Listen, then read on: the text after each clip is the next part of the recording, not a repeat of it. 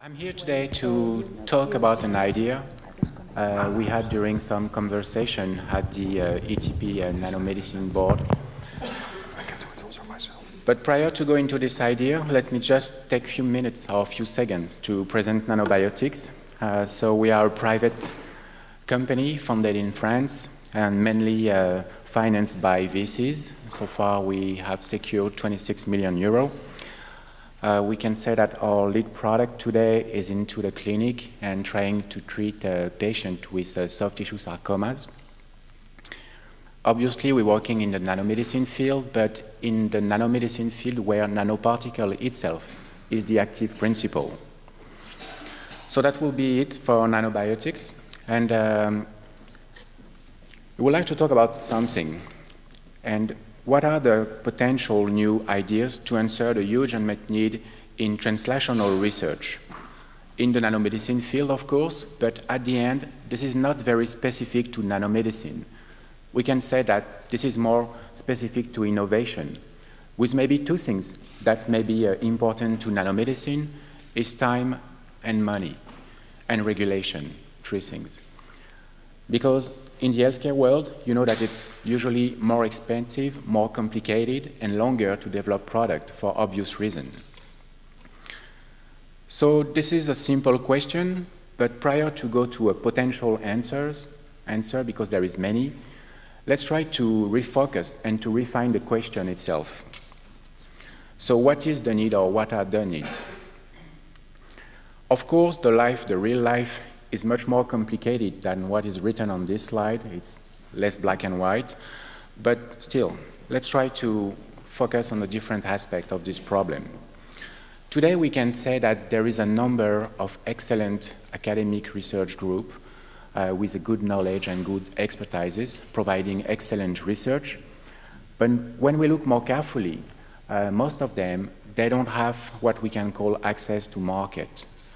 When I say access to market, is the ability to define what will be the real unmet medical need that a product should fulfill.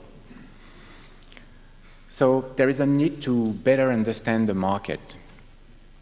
On the opposite, there is a large number of pharma companies or medtech companies that have a huge and large and good access to market with the knowledge of how to develop a product, which is also a very important thing. But on the other hand, those companies, they cannot take that much risk. They have to work and to develop their business plans on controlled risk. Also, there is a small numbers of SMEs that are trying to bring some new innovation into the market, but at the end they are very small and fragile. So they cannot transfer all this potential innovation into product it's only useful for few products or few innovations.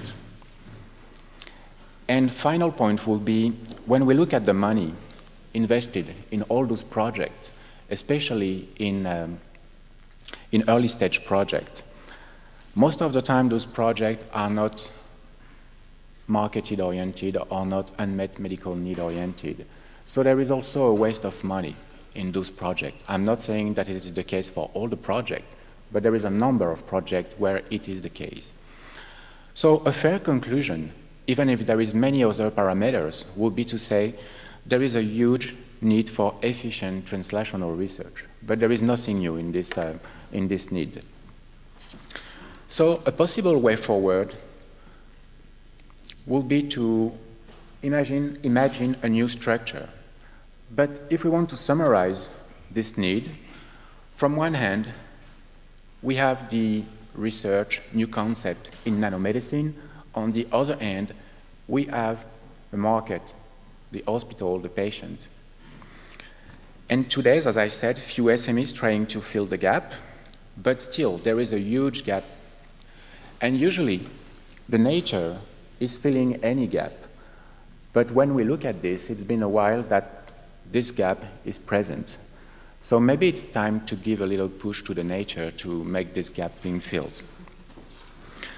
So we had an idea, which is only an idea, and uh, may not be the only possibility, but why not create a structure, and the term structure will have to be defined more precisely, that will fill this gap. a structure that could take ideas, product, concept, prototypes, and to bring it to a stage where this product could be considered as a de-risked product for industry.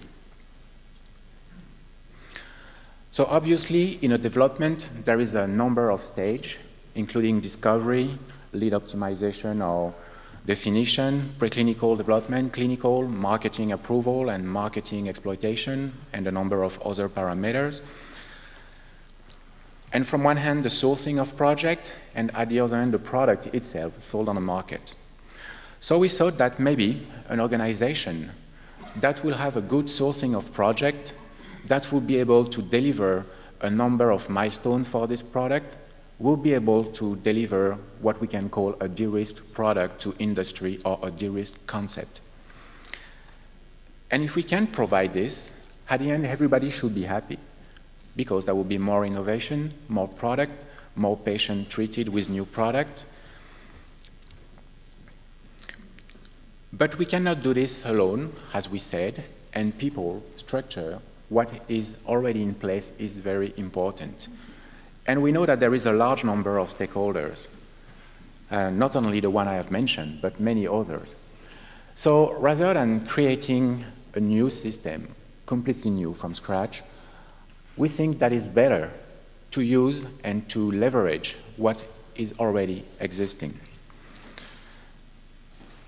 So to do so, this structure could be in the middle of a number of stakeholders but here, there is a key issue or a key problem or a key task to do, which is linked to the interfaces with the different stakeholders. Because we all have different incentives, we all have different view of how things should be done and what we should get out of it.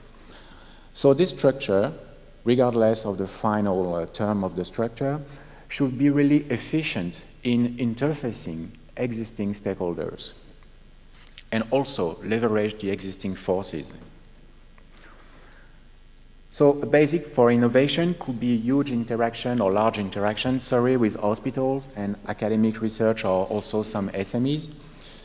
At the end, to be able to provide what we call a de-risk product to industry.